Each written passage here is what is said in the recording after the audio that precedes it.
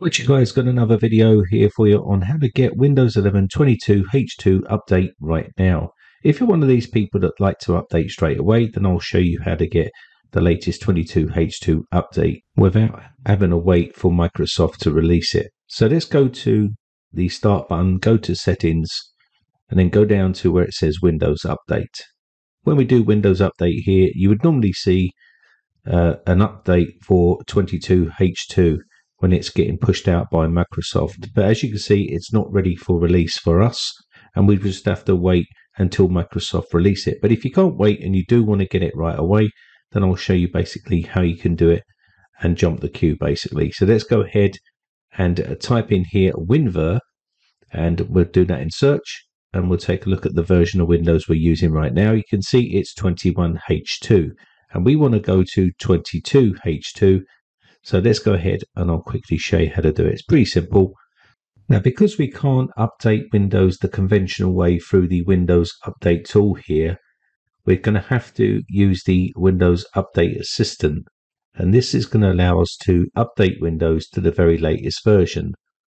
So what we're going to do is close this off here, and we're going to go ahead and go to a browser, type in here Windows 11 ISO, and this will take you to the Microsoft website uh, where you can download the Windows 11 ISO. We don't need the ISO, it's just a quick way to get to the website. So let's click on download Windows 11 Microsoft here. Inside here, you're going to see some download links. The one we're interested in is Windows 11 Installation Assistant. So let's go ahead and download this here. And this is a little uh, assistant tool that we can use. So I'm going to click on this and open this up. And this will open up the program for us. We can now close the, the browser off in the background. And you should see use the PC Health Check app to check compatibility. This is to make sure that your PC is compatible with this latest update. So we're going to download the app and I'll quickly run the app and show you this PC is compatible. But you should always check.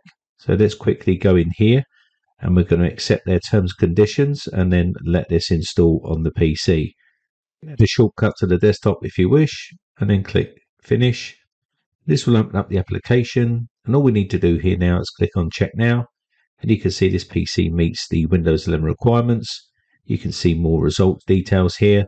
Now of course if you're running unsupported hardware you can still install uh, 22H2 uh, but again uh, Microsoft could stop updates for that particular unsupported hardware any time. At the moment, you can still receive updates, but I wouldn't put it on your main system. So let's go ahead and uh, quickly open up our assistant program again. And what we need to do here is click on refresh and it will say install Windows 11 and it will have a bunch of terms conditions here that you need to read through.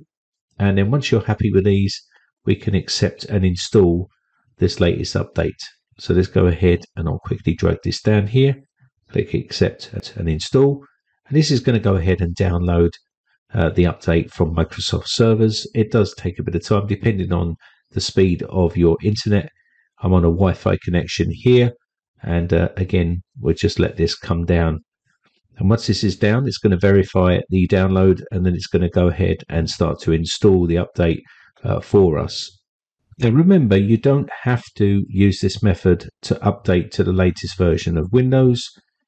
Microsoft will push those out to people when uh, they see fit.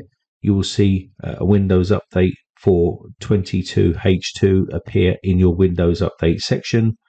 But if you want to get it right away, then this is how you can get the latest update if you want to play around with the latest features.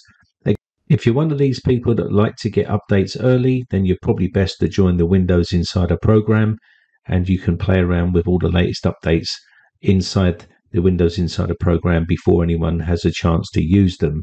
And you can install them on a system or a test system and uh, basically use all those early updates. Uh, using this method, uh, again, uh, this update has been buggy. There's been some issues and some people have had some blue screening and also some other issues with this update. So bear that in mind before you start downloading the latest updates. But as I've said, if you're one of those people that don't care, then by all means use this method to get the latest version of Windows. And this works with any sort of Windows update. Once that's done downloading and verifying, it will start to go to the installation process. And again, the very first part of the update is pretty quick, uh, but it will start to uh, stall towards the 70% mark. So be patient and just be uh, patient and let it install on the system. Uh, don't uh, turn the PC off at this stage because you can end up uh, bricking your OS and you don't really want to do that. I see so many people try to rush things and when the screen goes black, they start turning the PC off. Just let it download and install and give it time because this update is quite a big update and it will take a bit of time. And again, just be patient. Now, once that's completed, you will see a message saying restart in, in uh, 30 minutes. You can restart right away, or if you've got work, then restart later.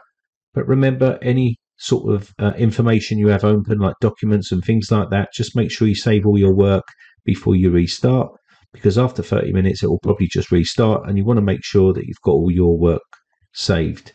So we're going to go ahead and restart the system here. And once that's done, the update process will uh, continue and you will see a black screen and again some text saying update in Windows. And once that's complete, you can come into your operating system. Once it's rebooted, you'll get to the desktop and you may see a couple of little updates available. Download and install those as well. And once that's completed, you should be on the very latest version of Windows 11. You can check by going to the search box and typing WinVer in here. Open, open up the application and you can see now that we're on version 22H2, which is the very latest release uh, from Microsoft, and it's now installed on the system. Now you can still roll back if you have issues to the previous version. You have 10 days to do so, or you can extend that to 30 days if you wish. Uh, but remember, you only have a very short period of time to roll back unless you do extend it. And if you don't extend it in time, uh, and what happens is you run out after 10 days, you will need to do a fresh install. And if you download Windows from Microsoft, you're going to get this version anyway. So there is other ways of getting previous versions, but if you're one of those people that like to update early, you can run into issues. Always wait a little while uh, for Microsoft to iron out any sort of bugs. Let all the other guinea pigs uh, do all the downloading and installing of updates, in my personal opinion, and uh, basically update in a, a, maybe a month or so's time when it's all, it's all uh, sort of fixed and patched. Anyway, I think that's going to be about it for this video. My name has been Brian from briteccomputers.co.uk. Just want to say a quick shout out to all my YouTube members. I really do appreciate the support, and I shall catch you in the very next video. Bye for now.